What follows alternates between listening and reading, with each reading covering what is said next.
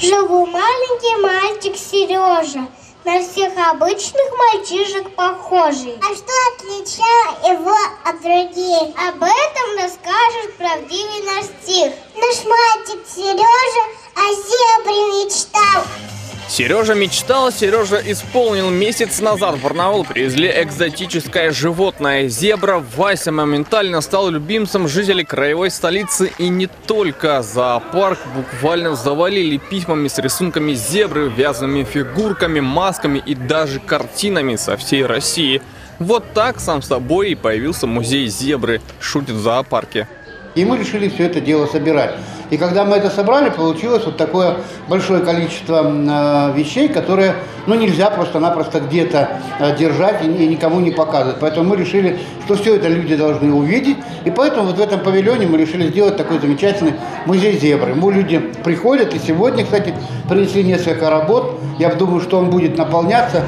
Праздник зебры в зоопарк пришли отметить и малыши, и взрослые. Неспешная экскурсия для тех, кто подустал, концерт и сюрприз барнаульцам от руководства зоопарка.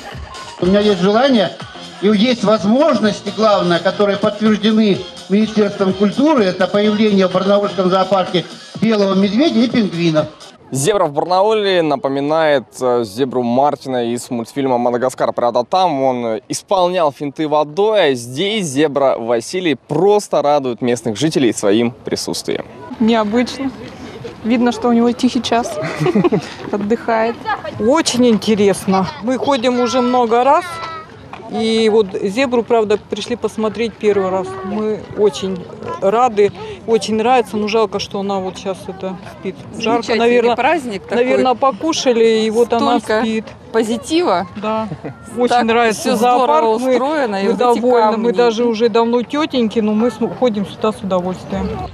Посетить музей зебры может любой желающий. Он всегда открыт и постоянно пополняется. Кстати, возможно, рядом скоро появится и еще один музей белого медведя и пингвинов, чтобы исполнить еще чью-то мечту. Дмитрий Дроздов, Андрей Печоркин. День с толком.